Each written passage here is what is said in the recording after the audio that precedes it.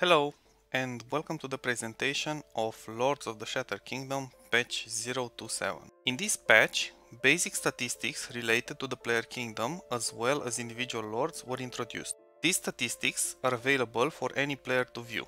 For your own lords, just select the lord you are interested in and click the new button in the lord control panel. The top part basically outlines the performance in fighting other players. The middle part shows the current lord experience and the progress in training skills from various area of the three skill groups. Obviously, this lord is quite new, but the preference for command skills is already obvious.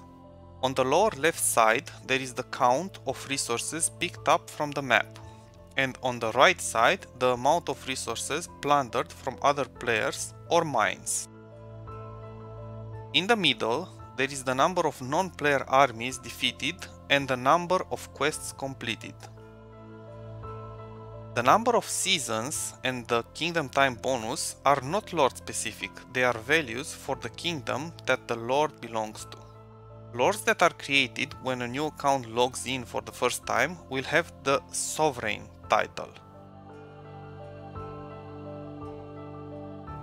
Lords that are appointed later in the game will be called Subject of and will also give out the name of the main lord as it is visible in this case.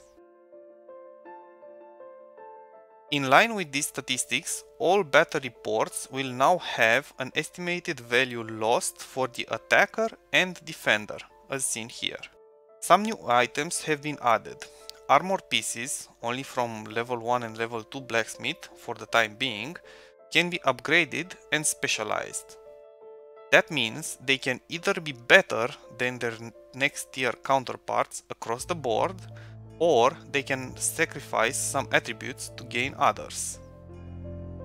The exact way in which they are upgraded is seen from the small specialization icon that is on top of the main icon.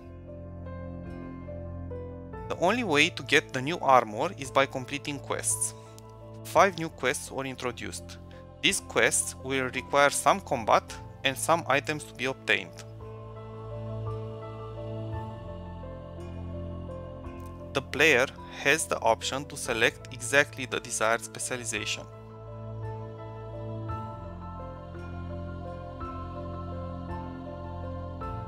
Also, for the initial level, the player can find the required items on the quest map.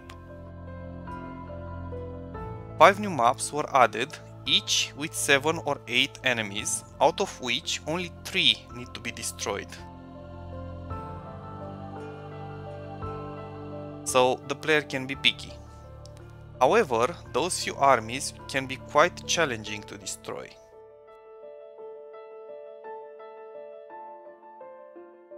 There are some quality of life changes also, but more on that in the patch notes.